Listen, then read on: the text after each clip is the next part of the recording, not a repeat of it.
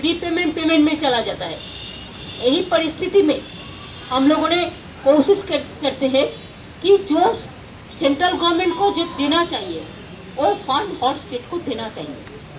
Time पे time पे नहीं देने से इसको कम पे नहीं लगता है।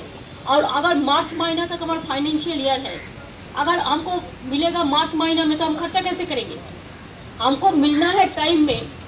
So within this financial year we can spend the money also for proper purpose इसके लिए नीति आयोग को मीटिंग हॉट स्टेट के लिए कहाँ है exclusive meeting for the development purpose that I told you earlier and regarding this fund release also i think there must be some system so we can discuss it into the exclusive